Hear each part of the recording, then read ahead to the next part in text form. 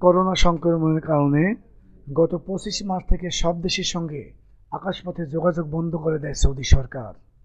সেই পরিস্থিতিতে বাংলাদেশে আটকে পড়া সৌদি প্রবাসীদের অনেকেরই ভিসা এবং আগামার মেয়াদ শেষ হয়ে গেছে। নতুন করে সৌদি সরকার ফ্লাইট চালু করলেও সব যাত্রী সৌদি আরবের নিজ কর্মস্থলে ফিরতে পারবে কিনা তা নিয়ে সংশয় রয়েছে।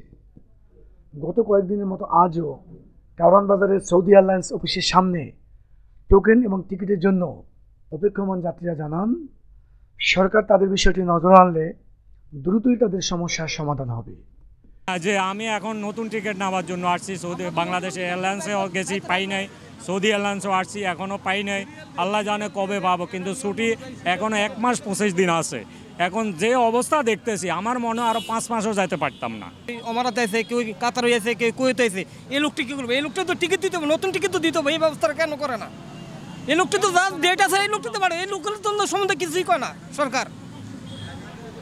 তো আমরা কি করব? আমরা তো আইসি আমরা তো আমারত আইসি মেয়াদ যখন বাড়ায়। তখন বলে আরও পরে যায়। খালি যারা মেয়াদ নাই তখন বলে আর আর চলবে না। তখন মানুষ প্রবাসী বাইরে এখন কি করব ভাই? আপনারই বলেন কি করব? দেশে থাকা প্রবাসীরা জানান যাদের ভিসার মেয়াদ এখনও আছে তাদেরকে সরাসরি ডেকে নিয়ে টোকেন দেওয়ার ব্যবস্থা না করা হলে পথে বসা ছাড়া তাদের কোনো উপায় থাকবে না।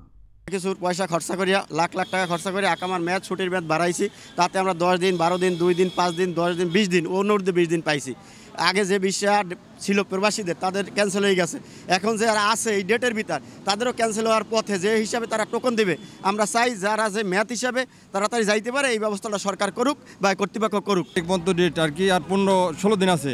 এই ষোলো দিনের মধ্যে যদি আমরা টিকিট ওই যে বসায় থাকি, যদি টিকিট আমাকে দেয়, তাহলে ওই টিকিটের অনুযায়ী যদি আমাকে ডাকে, তাহলে মনে হয় সিরিয়ালে যাইতে পারব না।